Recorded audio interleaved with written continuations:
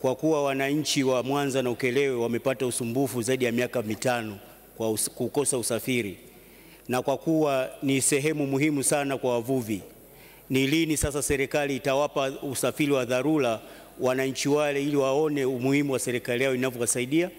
Swali la pili, kwa kuwa tatizo la Ukerewe linalingana kabisa na Tanga, wananchi wa Tanga, Pemba, Unguja pamoja na Bagamoyo walikuwa wanahitaji meli kama hiyo ili wasaidie.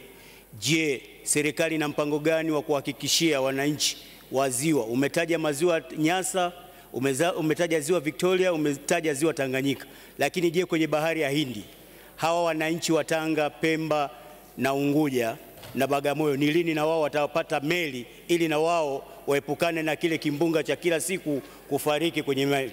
Asante sana mheshimiwa.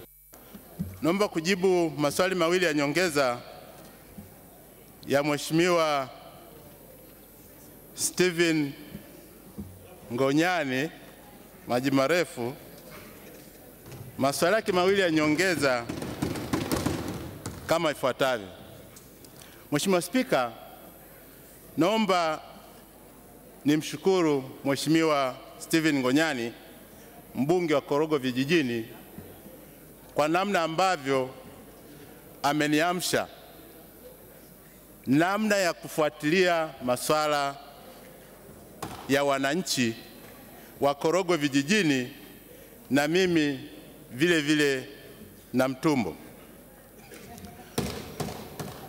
Kwa kweli ninaomba wabunge wengine wafuate nyayo zake.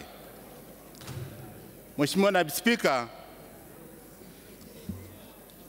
kuhusu dharura, nadhani mheshimiwa anafahamu kwamba tuna usafiri ambao sasa hivi upo, isipokuwa hautoshelezi. Kwa masuala ya dharura, usafiri unapatikana. Nia yetu kubwa ni kuondokana na meli hizo chakavu, tuzitengeneze na tulete mpya. Kwa hiyo masuala ya dharura sio tatizo, yamechukua taken care of. Kwa upande wa swali la pili, Mheshimiwa Naibu Spika, niliwahi kujibu swali kama hilo hilo katika bunge hili kwamba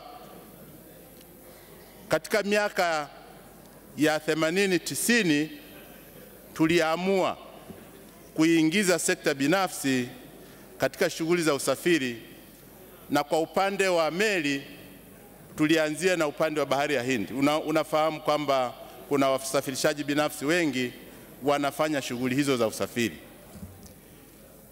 Kama ombi lako manake unataka serikali iondoe hiyo sera, ilete sera nyingine, tutaliwasilisha serikalini likajadiliwe, tuone hasara na faida yake. Lakini kwa sasa naomba tuendelee kupata huduma za meli kutoka kwa wasafirishaji binafsi. Takoshili tulishaisimamisha miaka ya tisini.